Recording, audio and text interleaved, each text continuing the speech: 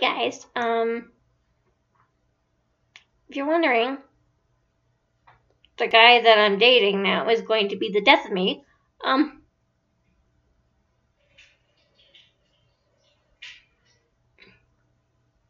this pandemic is really not helping the situation.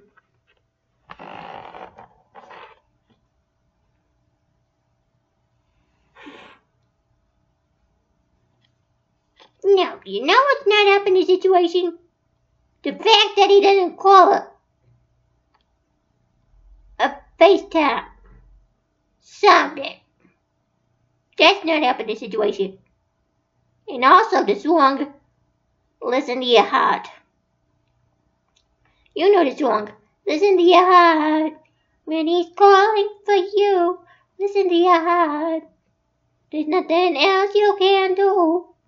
I don't know where you're going, and I don't know why. Listen to your heart before you tell him goodbye. That's not helping because if you want to tell him goodbye, then listen to your heart is what's got in this mess.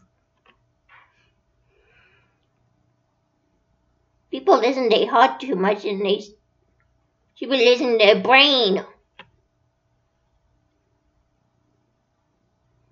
She'd been listening to her heart since she was 18 and this got her screwed.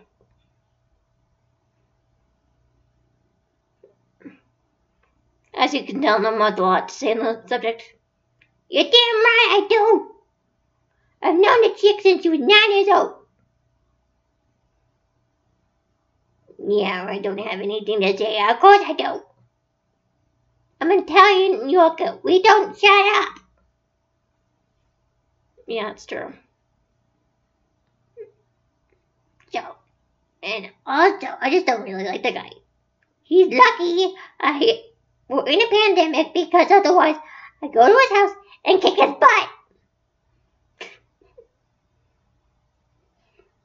yeah, uh, thanks for watching, guys. Comment, subscribe, like, guys. Bye.